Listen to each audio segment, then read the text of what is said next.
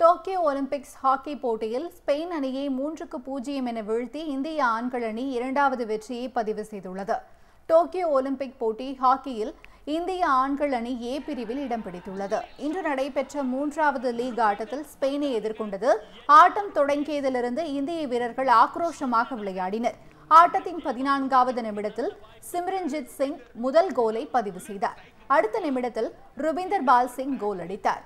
இதனால் முதல் கால் பகுதியில் இந்தியா இரண்டுக்கு பூஜ்ஜியம் என முன்னிலை பெற்றது. இரண்டாவது மற்றும் மூன்றாவது காலிறுதி பகுதி ஆட்டங்களில் இரு அணி வீரர்களும் கோல் அடிக்கவில்லை. நான்காவது காலிறுதி ஆட்டத்தில் ருபீந்தர் பால் சிங் மேலும் ஒரு கோல் அடிக்க இந்திய அணி மூன்றுக்கு பூஜ்ஜியம் என்று ஸ்பெயினை வீழ்த்தியது. இந்திய ஹாக்கி அணி இதுவரை மூன்று போட்டிகளில் விளையாடி இரண்டில் வெற்றி பெற்றுள்ளது. Be the voice MPL sports foundation celebrates athletes நீங்களும் ஃபேன் ஆயிடுவீங்க.